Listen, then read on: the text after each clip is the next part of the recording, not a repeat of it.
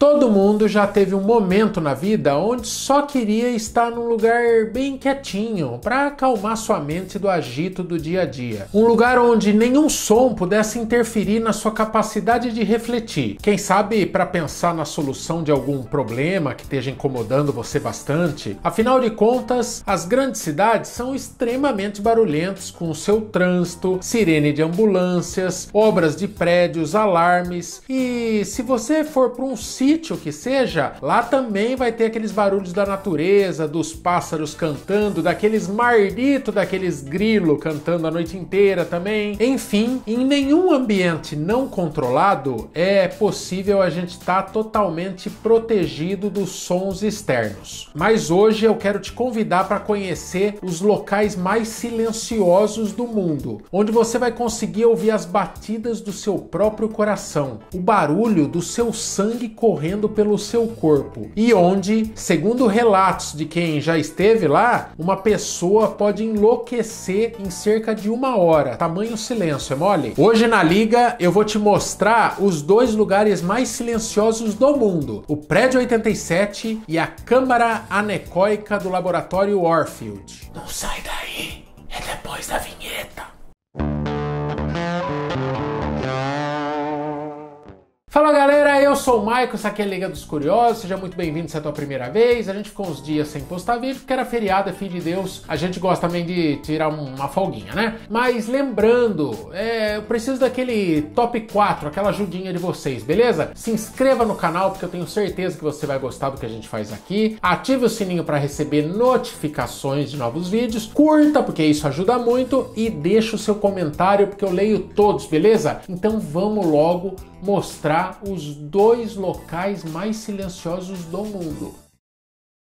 Não falo nada. Mas antes da gente te mostrar quais são esses locais mais silenciosos do mundo, a gente precisa saber quais são os limites, né, de som que são tolerados pelos seres humanos e quais aqueles que se tornam simplesmente insuportáveis para os nossos ouvidos. Aproveita e coloca nos comentários onde que você mora. Você mora na cidade? É barulhento onde você mora? Ou você mora afastado no campo, no sítio e quase não tem barulho de nada? Eu quero saber onde vocês moram. Coloca o local e como é que é? É barulhento ou é silencioso? Em uma biblioteca, por exemplo, onde qualquer barulhinho mais alto pode fazer com que você leve uma erguida do vigia, os ruídos normalmente giram em torno de 30 a 40 decibéis. Dentro de uma casa, a gente já consegue encontrar alguns barulhos bem mais altos que já começam a incomodar. Uma máquina de lavar, por exemplo, chega a 60 decibéis. Um aspirador, 70 decibéis. Meu, tem coisa mais chata do que você tá assistindo televisão e alguém decidir passar o aspirador? Ai, mas dá vontade minha mão. Entretanto, especialistas afirmam que quando uma onda sonora passa de 80 decibéis, aí sim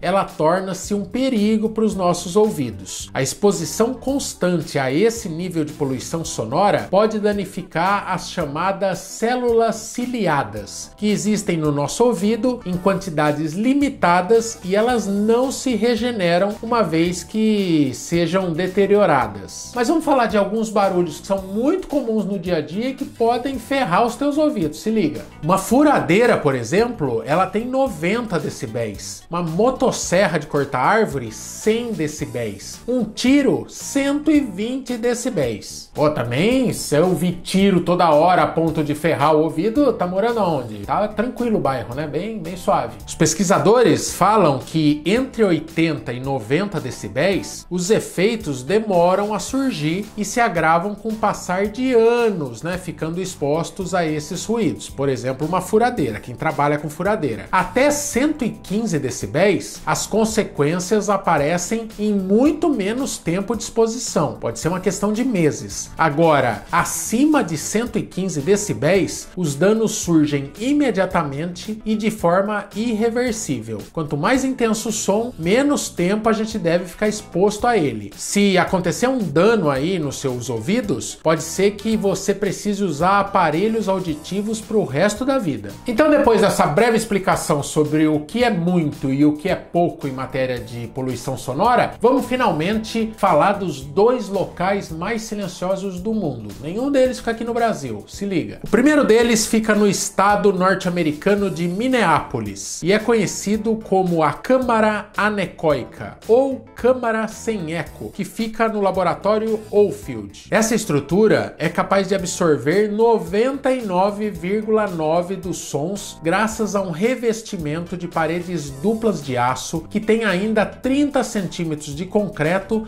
e mais 3 metros de vidro acústico. Basicamente são salas acústicas colocadas dentro de outras salas acústicas. A sala foi criada para testar o nível de ruído de produtos para empresas. Somente no ambiente assim é possível, por exemplo, que um fabricante garanta que um determinado modelo de liquidificador emite tantos decibéis e poder colocar essa informação na caixa. Essa informação vai na embalagem do produto e é a garantia para o consumidor para que ele realmente saiba que está comprando uma parada silenciosa e não algo tão barulhento quanto aquele ronco do seu tio Raimundo, sabe? Se os testes desses produtos fossem feitos num ambiente normal, pode ser que elas captassem barulhos que não são do produto e aí acabaria não sendo uma medição muito justa, entendeu? A Harley Davidson, por exemplo, né, que é a fabricante mais famosa de motocicletas, usa essa sala para testar o nível de ruído dos motores das suas motos, deixando eles os mais silenciosos possíveis, sem, no entanto, que eles percam aquele ronco característico da marca. Câmaras anecoicas gigantes são construídas até para testagem do ruído de turbinas de aviões, mas o preço do sossego pode custar caro ao corpo humano. Ficar muito tempo dentro da câmara do Instituto Orfield causa alucinações em algumas pessoas e afeta seriamente o desenvolvimento motor, a coordenação dessas pessoas. De acordo com o Steven Orfield, que é o presidente do laboratório, para passar pela experiência de se trancar no quarto só sentado numa cadeira. Isso porque você se orienta pelos sons que escuta enquanto anda. Na câmara, você não tem essas pistas, então você perde dicas importantes de percepção que ajudam a manter o equilíbrio do corpo. Segundo ele, nossos ouvidos se adaptam facilmente ao silêncio, e quanto mais quieta for a sala, mais barulho as pessoas poderão perceber ao seu redor, mesmo que seja o seu próprio som. Ele fala, por exemplo, que dentro da sala anecoica você pode ouvir o seu coração bater, o seu estômago reclamando alto e em algumas vezes até os seus pulmões se mexendo. Olha que aflição. Quando você está em pé nessa câmara, basicamente você está flutuando, porque uma tela te coloca a alguns metros do chão, exatamente no meio da sala. Embaixo dessa tela, toda a estrutura também é forrada com formas geométricas de espuma que estão lá para absorver o som na sua totalidade. Esse cara explica que o som entra nessas frestas e fica rebatendo entre essas formas e basicamente ele fica preso lá para sempre, ele se perde na parede. As pessoas relatam uma espécie de pressão nas suas cabeças em razão dessa sensação de ouvir o completo silêncio. E ninguém conseguiu ficar mais de uma hora até hoje numa dessas salas. Esse cara aí foi o recordista. Ele ficou lá dentro sozinho com as luzes apagadas por 57 minutos até pedir para sair. Outro sintoma comum é as pessoas se sentirem enjoadas e realmente terem a percepção de que estão enlouquecendo. Essas pessoas são orientadas a avisarem antes que possam botar tudo para fora aquilo que está dentro do seu estômago, porque acredite, até ânsia essa parada dá. Olha como o organismo é maluco. Quando a audição não é usada, os outros sentidos ficam completamente doidos. Outra sala parecida que conseguiu chegar à incrível marca de decibéis negativos durante uma medição foi uma sala anecoica criada nos laboratórios da Microsoft. O local, batizado de Prédio 87, possui uma câmara que registrou a mais baixa frequência de decibéis possível no mundo, atingindo quase 40 decibéis negativos. A sala é usada para identificar o ruído de cada componente de um computador ou um notebook e como a soma desses ruídos podem afetar a vida do usuário. Ou seja, os fabricantes ficam pesquisando como deixar os seus equipamentos cada vez mais silenciosos e aquele mardito daquele amigo te manda o gemidão no WhatsApp. E você acha que conseguiria suportar muito tempo num lugar tão silencioso assim, completamente afastado dos estímulos do mundo? Putz, deve ser muito louco. Eu, particularmente, gosto de barulho, gosto de morar na cidade, sempre morei no centro. Mas me fala aí se na sua cidade a coisa é agitada, beleza? A gente fica aqui, espero que vocês tenham gostado. Compartilhe o conteúdo da Liga para mais gente conhecer o nosso conteúdo. E é isso. Valeu,